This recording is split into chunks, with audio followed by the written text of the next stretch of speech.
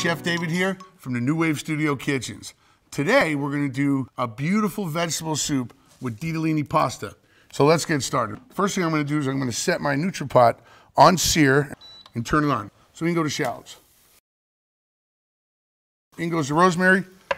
We've got some yellow squash. The zucchini look great. In we go with some kale. I'm going to get the pasta in now. So that's my tomato. I'm to get four cups of vegetable stock. We get a good pinch of sea salt. It's the only salt we use here.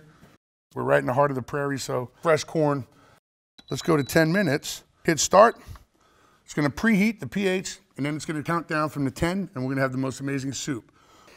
Up. Look at that. Pasta, perfectly cooked. A beautiful summer and springtime soup right out of the NutriPot pressure cooker. Thanks, guys. We'll talk again.